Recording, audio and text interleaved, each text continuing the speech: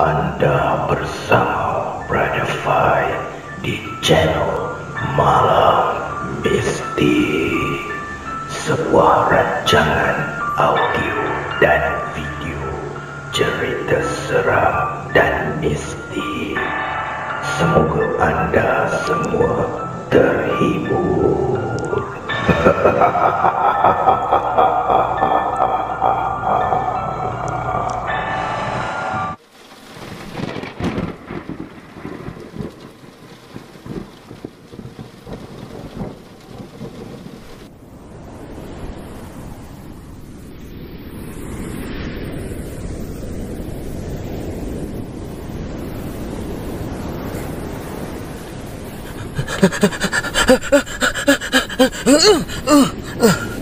Kapten! Kapten! Kapal kita telah menghampiri satu objek besar di hadapan, Kapten. Ha? Apa dia? Eh, eh, kerahkan anak-anak kapal semua untuk mengubah haluan kapal kita. Hai, anak-anak kapal sekalian! Bersedia untuk mengubah haluan kapal kita!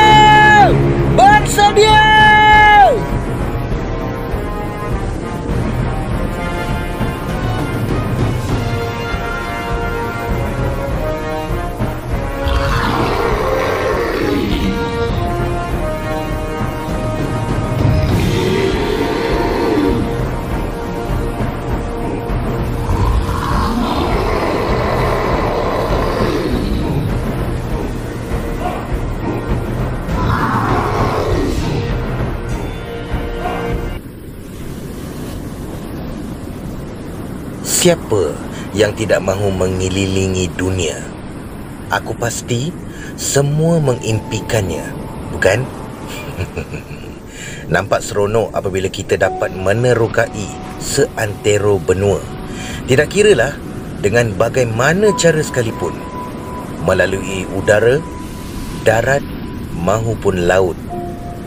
Tetapi risiko dan bahaya yang akan ditempuh bukanlah begitu mudah.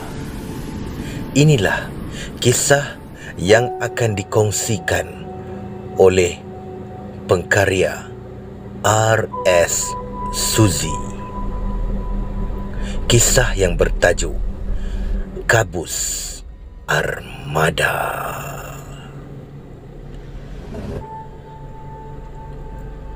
Kali ini Aku ingin kongsikan pengalaman misteri dari salah seorang pakcik aku yang bertugas sebagai seorang kelasi kapal kargo pada tahun 1980-an dulu. Begini kisahnya. Kedengaran rantai sau dibongkar oleh induk kapal. Maka bermulalah pelayaran merentasi lautan Hindi ke destinasi. Aku tidak pasti ke negara manakah akan kami singgah nanti. Kapal kargo berangkat awal pagi. Cuaca hari itu cerah dan terik menjelang tengah hari. Tidak hairanlah kalau dilihat kulit aku ni berkilat dibuatnya oleh pancaran tegak matahari di atas kepala. Hmm. Kapal kargo berlayar di tengah lautan luas bergelora berpandukan kompas dan radar. Kompas sebagai menunjuk arah manakala radar untuk mengesan kapal atau apa saja objek yang menghampiri atau yang menjadi halangan kepada laluan kapal kargo kami. Apabila tirai langit menutup senja, keliling kami gelap gelita hanya ditemani deruan gelombang ombak yang bergelora membantai badan kapal. Angin malam bertiup kencang. Eh, eh, eh, Zali, Zali. Eh, kabus apa tu? Tebal sangat tu. Eh, dia dah hampir menghampiri kapal kita ni. Salah seorang anak kapal memanggil aku untuk melihat kabus tebal yang entah dari mana datangnya. Sedang berarak ke arah kapal kami. Bukan kami saja yang tercengang melihat kabus tebal itu. Malah anak kapal yang lain turut berada di belakang kami tanpa disedari.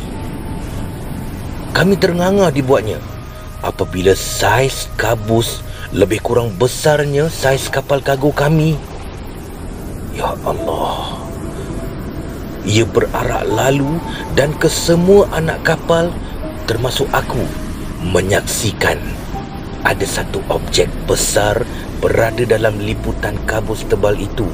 Eh, eh, eh, eh, ki, ki, ki, ki, ki, kita kena kena rapor, laporkan pada kapten.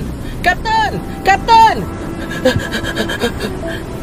Tiba-tiba, dalam kabus yang menyeliputi pemandangan kami, terdapat satu objek sebesar kapal kargo kami.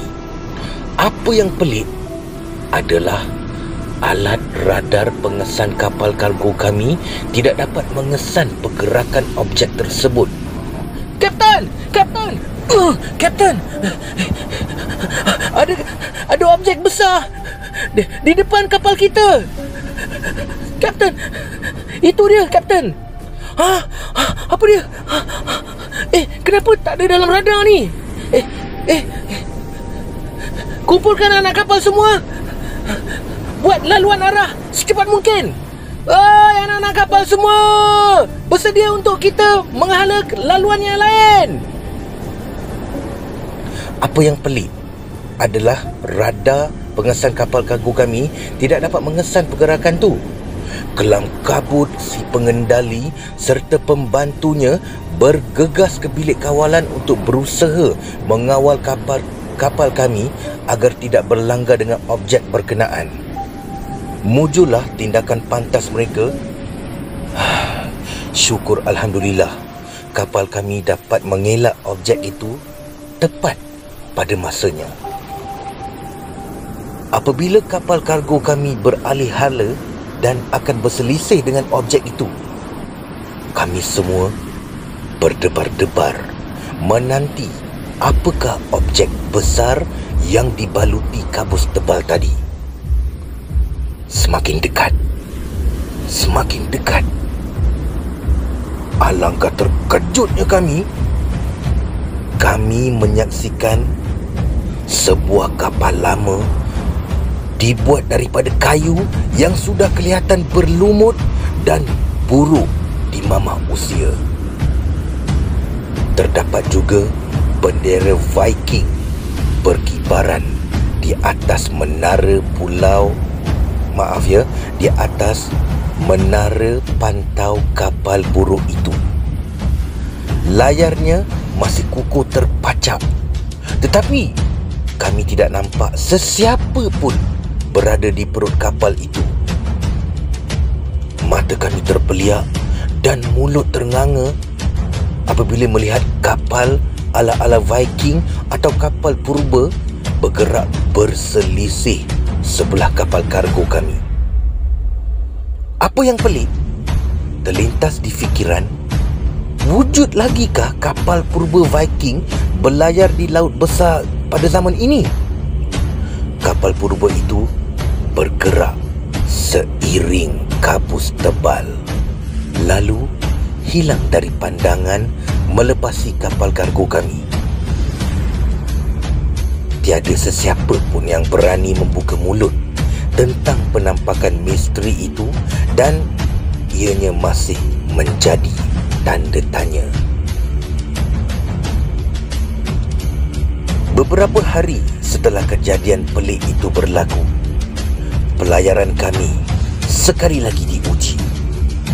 Kini, kami berada dalam cuaca yang sangat buruk. Lautan yang bergelora dipukul badai kencang.